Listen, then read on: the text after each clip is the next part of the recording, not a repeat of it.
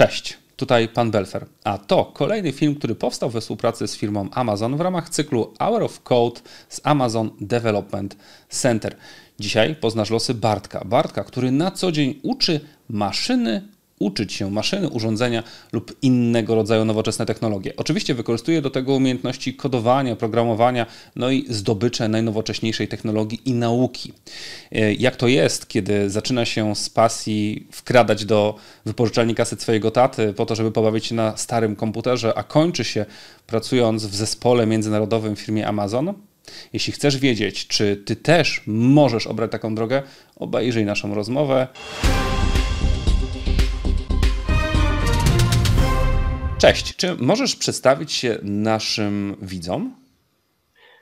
Cześć, e, ja się nazywam Bartłomiej Ignasiak i jestem Software Development Managerem w Amazonie. Zajmuję się w tej chwili technologiami związanymi z tekstu speechem, czyli z generowaniem mowy z tekstu.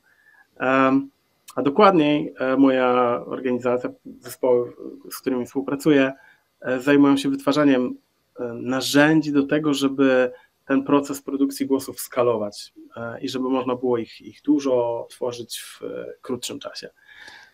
Albo żeby dane, dane jakby, daną funkcjonalność można też było wypuścić na inne kraje, nie tylko na przykład na angielski, ale na przykład też do Japonii.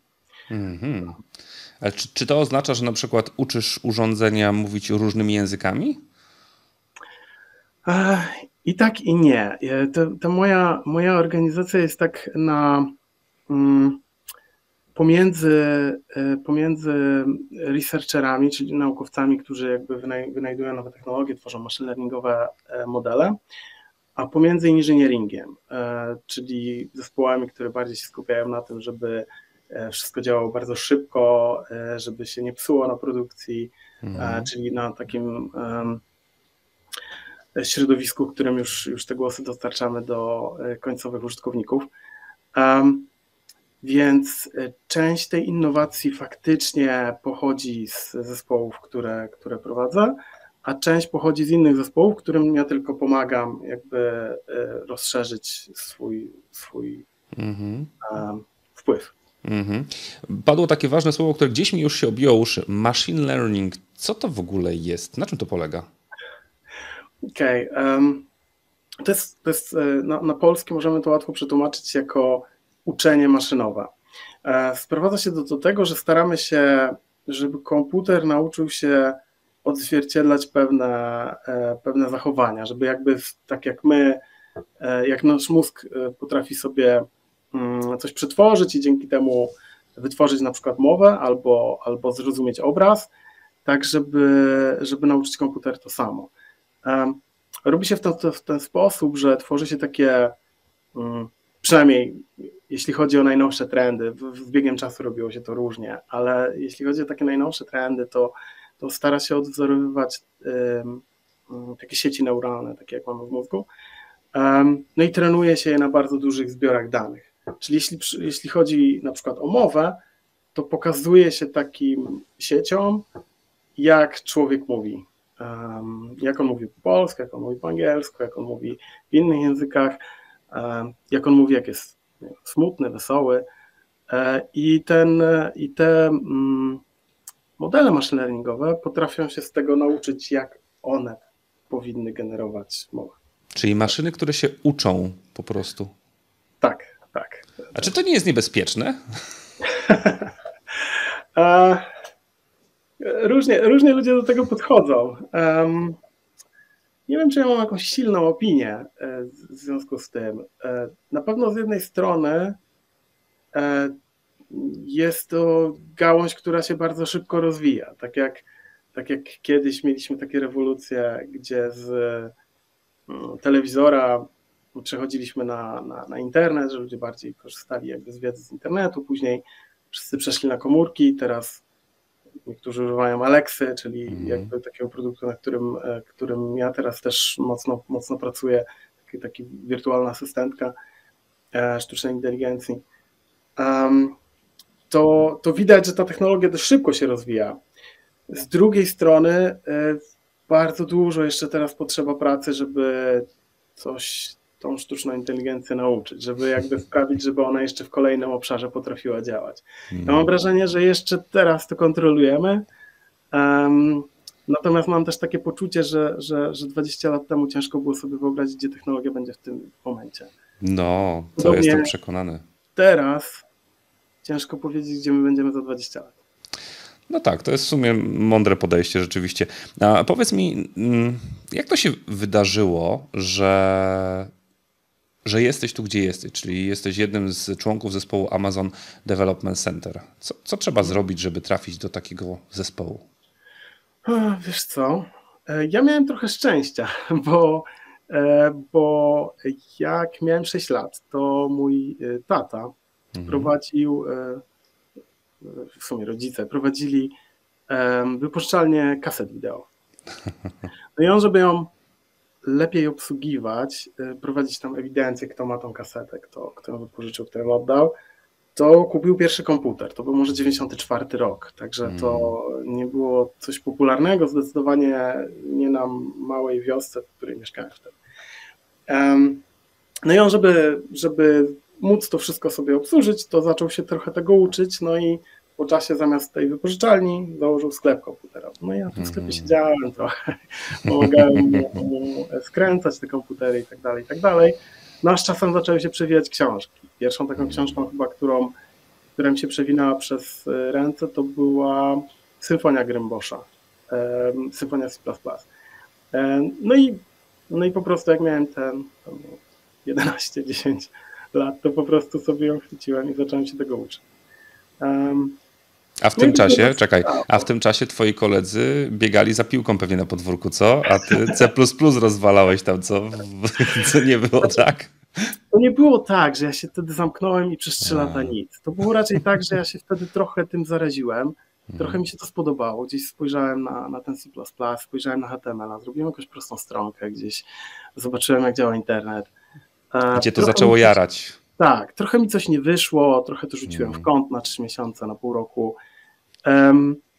I, I potem miałem taki czas, że, że tego aż tyle nie tykałem przez powiedzmy 2-3 lata i dopiero gdzieś mocno, mocno wróciłem w, w, na końcu gimnazjum, w liceum. Hmm. Wtedy, wtedy znowu usiadłem, ale wtedy już tak, już tak, że tak powiem, nocami. Ostro wsiąkłeś. I wtedy można by było powiedzieć, że wszyscy robili coś innego, a ja siedziałem przy komputerze. Tak. Okay. tak no ale powiedz mi, czy, czy w szkole na przykład ktoś wykorzystywał potencjał tego, czego się nauczyłeś, czy raczej to było tak, że znajdowałeś, nie wiem, na przykład ludzi, którzy też się tego uczyli gdzieś w sieci i wspólnie na forach internetowych rozkminialiście jakieś różne rzeczy. Mhm. Jak dzisiaj uczy się człowiek właśnie takiej technologii przyszłości, jeśli nie znajduje, nie wiem, wiesz, y, wsparcia wśród ludzi, których ma dookoła siebie? Mhm. Szukałeś gdzieś takich zewnętrznych społeczności? Wiesz co, w szkole, w szkole było... Mm, Tro, trochę to wykorzystywaliśmy, w sensie robiłem stronę szkolną. Mm. E, na liceum trafiłem na bardzo fajnego wychowawcę, który był też uczył informatyki i on mm. mi pokazał kolejny język programowania, którym robił stronę e, i, i w który potem jak się go dobrze nauczyłem, to zapewnił mi w sumie pierwszą pracę, taką zaraz mm. po liceum. Super. E, natomiast jak jeśli chodzi o te informacje, to ja ich mocno szukałem w sieci. Jakby mm. wśród w moim otoczeniu jakby nie było odzewu na takie zainteresowania za bardzo. E, więc to były głównie e, strony, głównie fora, e, najczęściej takie, które się nazywały, że są niby hakerskie, natomiast to były po prostu strony, w których było dużo artykułów o tym, jak się programuje. Okej. Okay. No dobrze, i teraz słuchaj, na pewno potem wybrałeś jaki kierunek studiów na przykład związany z tym? To był jakiś kierunek studiów, czy, czy raczej nie? Wiesz co, to było tak, że u mnie te studia nie miały za bardzo takiego znaczenia. Zaryzykuję mówiąc, bo, bo u mnie to było tak, że, że jak w tym liceum trochę przysiadłem, to potem dostałem się na uniwersytet na informatykę faktycznie, e, natomiast na studia dzienne, natomiast no jednocześnie dostałem pracę no, na mm. pełen etat jako programista i z tych studiów zrezygnowałem, tych dziennych i poszedłem na, na, na takie zaoczne, jednocześnie pracując i szczerze powiedziawszy, to z tej pracy jakby czerpałem tą wiedzę i doświadczenie, a, a studia po trzech latach przerwałem i już nie. No i proszę bardzo, jesteś w takim miejscu, w jakim jesteś i teoretycznie bez studiów. Znaczy, wiesz, ja tylko pokazuję, że to jest jedna z dróg. Nie, wiesz co, nie, to jest bardzo ważne. Wiesz co, to nie, nie o to chodzi. Tylko, że to jest naprawdę, ja, ja kibicuję temu, że praktyka czyni mistrza, szczególnie jeśli uczysz się czegoś, co jest, wiesz, technologią jutra, a najczęściej, no niestety, e, tego uczysz się w działaniu, a nie w teorii, czytając książki, które były napisane na podstawie czegoś, co już było. I mhm. jakby ja mocno temu kibicuję, bo właśnie moim zdaniem zdaniem nowoczesna technologia, inżynieria, to co powiedziałeś, programowanie czy cały machine learning, to opiera się na takich ludziach jak ty, którzy dopiero będą kreowali e, to, co w przyszłości być może będzie omawiane na studiach, więc to jest mega, nie? Dla mnie to jest jedna fajna, fajna, fajna, fajna ścieżka, że, że zupełnie nie trzeba iść tym takim trybem, którym jesteśmy nauczeni od zawsze, że to muszę robić. Nie, to ty podejmujesz decyzję ostatecznie, co tobie w życiu jest potrzebne i gdzie się więcej nauczysz, bo wcale niekoniecznie musisz się nauczyć tego właśnie na przykład w szkole czy na studiach, tylko ty decydujesz, skąd się uczysz i czego się uczysz, prawda? Tak, tak. Znaczy to, jest, to była trochę moja filozofia w trakcie mojej jakby ścieżki, ścieżki nauki. Przy czym ja potem tą wiedzę sobie mocno uzupełniałem takimi kursami online'owymi. Na przykład są świetne materiały z uniwersytetów w Stanach, z Berkeley czy, czy z, z tego mhm. typu uczelni, gdzie można przejść cały semestr, na przykład ze sztucznej inteligencji, e, zupełnie za darmo, nawet wysyłać jakieś zadania, które automatycznie będą sprawdzone, czy, czy ten wynik był poprawny. Super. E, I, i to było bardzo efektywne. Mm. No powiedz mi, posłyszałem też taką e, plotkę, ale wiesz, ja nie wiem, nie, może mi potwierdzisz, czy zawód programisty, inżyniera tworzącego nowoczesną technologię na przykład e, pozwala, nie wiem, zwiedzać różne kraje, rozwijać się, jeździć i uczyć się w różnych miejscach? Jest tak? Czy to raczej jest tak, że siedzimy przy tym komputerze w jednym miejscu, wiesz, w piwnicy, nie, zasłonięte okna i tylko ta puszka jakaś napoju słodzonego, wiesz, jak to z telewizji. Jak to rzeczywiście jest? Wiesz co, to chyba mocno zależy od tego, jak sobie ktoś e, to ułoży. Jeśli hmm. chodzi o zawód programisty, to faktycznie można go robić ze, z każdego miejsca na świecie. Można pojechać, zrobić e, e, nie wiem, kontrakt z Wietnamu, potem kontrakt z Ameryki Południowej, a potem, potem wrócić do Europy i, i w Hiszpanii posiedzieć. Zresztą nawet jeśli chodzi o nasz zespół w takiej pracy niekontraktowej, tylko ty, takiej typowo um, pełnego etatu z umową pracy i tak dalej, to e, nasze zespoły są dość mocno rozproszone. E, u mnie część zespołów jest w Polsce, ale też w różnych miastach. Część w Gdańsku, część w Krakowie, część e, w Warszawie, w Cambridge, w Wielkiej Brytanii, ale są też osoby, które pracują faktycznie, tak jak powiedziałem, po prostu w Hiszpanii i stamtąd prowadzi, na przykład jeden menedżer prowadzi zespół w UK, będąc w Hiszpanii. I, i to jest możliwe. Także tak, daje to dość dużo swobody, zwłaszcza po e, teraz, po pandemii. Mhm. Bardzo dużo firm się na taki model otworzyło i myślę, że ludzie, którzy teraz wchodzą na rynek, e, mają, mają o wiele więcej swobody z tym. Natomiast na pewno z drugiej strony są, są wszystkie inne zobowiązania. Na przykład, jeśli się ma już dzieci, no to dla nich przejazd przejazd razem z nimi gdzieś e, już, już jest o wiele trudniejszy, trzeba zmienić szkołę i tak dalej. Tak, to jest skomplikowane. Słuchaj, a powiedz mi, bo jednym z naszych widzów oczywiście są młodzi ludzie e, w różnym wieku. No to jest szkoła podstawowa, końcówka, być może szkoła średnia, e, których serdecznie pozdrawiamy. Co mógłbyś im powiedzieć? Dlaczego warto podjąć wyzwanie właśnie uczenia się tworzenia nowoczesnej technologii? Co to daje w przyszłości? Co można dzięki temu na przykład stworzyć? Albo jak widzisz taką przyszłość dla młodych ludzi, którzy dzisiaj mają 15-16 lat, co byś im wywróżył z fusów, jeśli dzisiaj by weszli w twoją skórę i właśnie ruszyli z jakimiś książkami? Co mogliby, jak, jak widzisz ich przyszłość teraz? Wiesz co, mi się wydaje, że programowanie wchodzi właściwie w każdą dziedzinę. W sensie programowanie daje takie poczucie, pewnie, to pewnie często ludzie mówią, e, natomiast, e, natomiast ja, ja, ja czułem poczucie sprawczości w momencie, kiedy się zacząłem uczyć programować. To, to jest tak jak bierzesz pustą kartkę i ołówek możesz narysować cokolwiek, co chcesz. Mm. No i tutaj z programowaniem jest podobnie. Możesz go użyć do tego, żeby napisać typowo jakiś program za, za pieniądze dla kogoś, na, dokładnie tak jak on go chce, ale możesz go też użyć dla siebie. Um, możesz stworzyć sobie program, który ci przetworzy dane, jakiś duży zbiór danych, y, nie wiem, doda tam przecinki, kropki, sformatuje jakoś je w jakiś sposób, który chcesz, e, przeliczy jakieś dane i wy, wy, wystawi ci cały pełen raport, którego, który, na którym normalnie spędziłbyś ileś, ileś dni. Um, I to jest potrzebne w tej chwili chyba w każdej dziedzinie, czy to w biologii, czy w chemii. E, wiem, że wspominałeś, że, że mm. uczysz chemii. Tak. E, właściwie wszędzie e, zaczynamy operować na, na dużej ilości danych i zautomatyzowanie ich przetwarzania przyda się właściwie w każdej dziedzinie. Mm. I teraz bardzo dużo jest ludzi, którzy idą w e, dziedzinę informatyki, dużo jest ludzi, którzy idą w inne dziedziny, natomiast bardzo mało jest ludzi, którzy łączą te, te dwie dziedziny ze sobą, czyli są na przykład i informatykami, i biotechnologiami, albo informatykami i, medy, i medykami. Mhm. Wydaje mi się, że taki kierunek jest, e, daje największy potencjał. No super.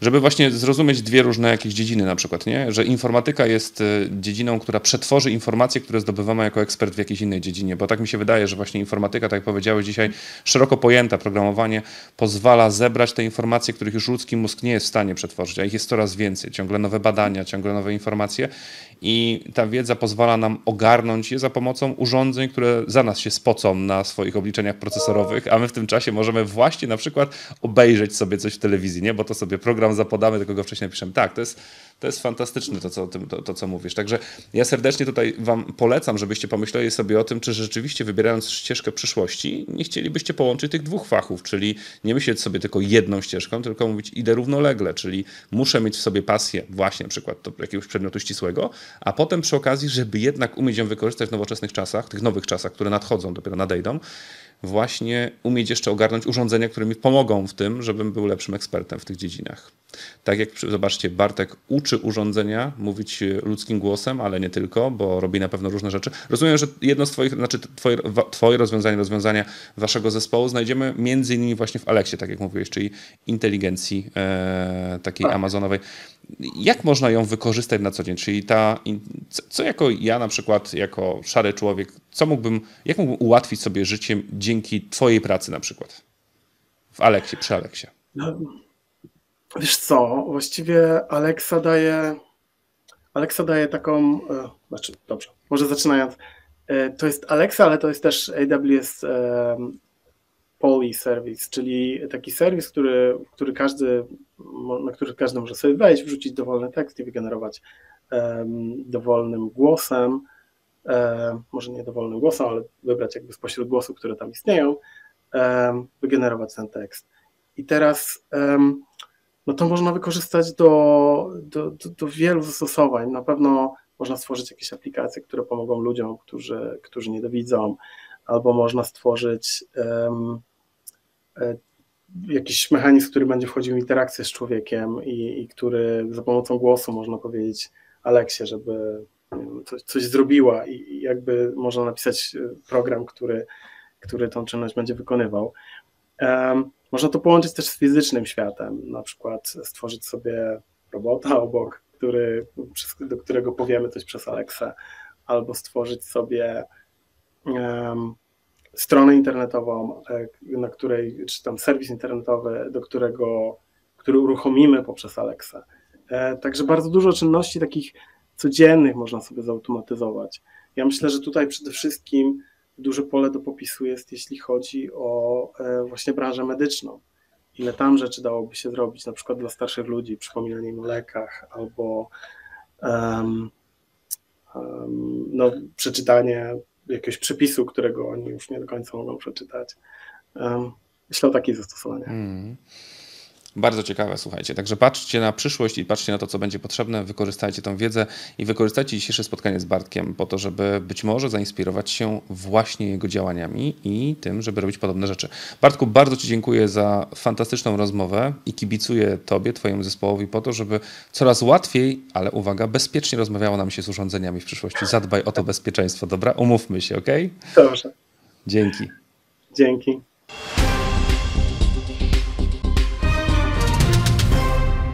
No i co? To była bardzo ciekawa rozmowa, prawda? Poznałeś Bartka, który na co dzień uczy maszyny uczenia się. Machine learning to jest technologia przyszłości, z którą stykasz się na co dzień. Tak, ty stykasz się z nią, ja stykam się z nią, a wiesz co by było najfajniejsze? Gdybyś nauczył się wykorzystywać ją, a być może w przyszłości tworzyć i trafić do zespołu na przykład Bartka w Amazon Development Center. Cała przyszłość jest przed tobą i pamiętaj, że to ty decydujesz, czym tak naprawdę się zainteresujesz. I czasami warto odważnie obrać swoją ścieżkę, patrząc na to, co może być potrzebne w przyszłości, a nie jest potrzebne tu i teraz. To co? Mogę liczyć, że zainteresujesz się tematem programowania, kodowania i nauki? To super. Trzymam za ciebie kciuki.